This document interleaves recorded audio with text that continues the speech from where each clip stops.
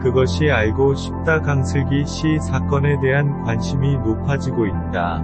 지난 17일 방송된 SBS 그것이 알고 싶다에서는 이혼 소송 조정 중 남편에게 살해당한 강슬기 씨의 이야기가 공개됐다.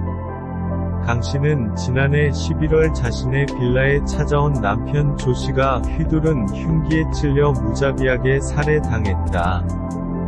사고 후 강 씨는 즉시 병원으로 이송됐지만 22세라는 어린 나이에 결국 숨을 거뒀다. 강 씨의 지인이 공개한 녹음 파일에 따르면 조 씨는 평소에도 칼과 망치 등을 이용해 강 씨를 폭행했다. 지인은 남편이 옷을 벗겨놓고 때렸다고 한다. 아무것도 못 입고 6시간 동안 맞다가 소변을 먹였다. 고말에 충격을 안겼다. 또 강 씨는 사망 전 조 씨에게 성폭행을 당해 경찰에 신고한 바 있지만 경찰이 이 사실을 조 씨에게 알렸고 이에 화가 난 조 씨는 강 씨를 살해했다. 강 씨의 몸에서는 20곳이 넘는 상처가 발견됐고 장기가 손상되고 뼈가 관통될 정도로 무자비한 공격의 흔적이 남아 있었다.